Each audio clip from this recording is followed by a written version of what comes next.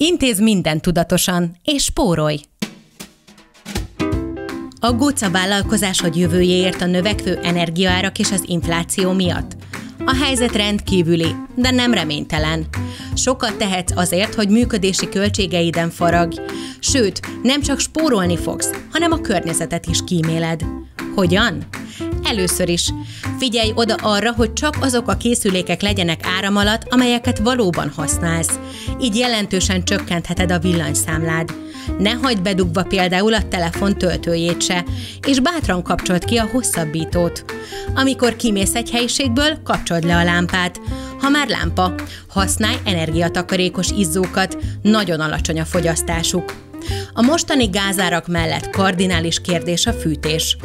Tudtad, hogy ha egy fokkal alacsonyabbra állítod a hőmérsékletet, 6%-ot spórolsz havi szinten?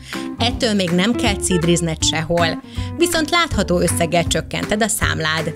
Spórolhatsz a napi működésed során is. Digitális fizetési lehetőséggel és elszámlázással nem csak kényelmi szolgáltatást nyújtasz a partnereidnek és vásárlóidnak, de kevésbé terheled a környezeted. A számlákat már e-mailben is küldheted, a kártyás fizetésnél pedig kérdezd meg az ügyfeledet, hogy kéri a bizonylat másolatát. Így kevesebb papírt használsz, és még az ügyfeleid elvárásainak is megfelelsz. Ha készpénzmentesen fizetsz, nem csak a papírral spórolsz, és nem csak magadnak. A Magyar Nemzeti Bank legfrissebb adatai szerint a digitális fizetések össztársadalmi költsége az elmúlt tíz évben csak nem a felével csökkent, míg a készpénzes fizetéseké mindössze 10%-kal.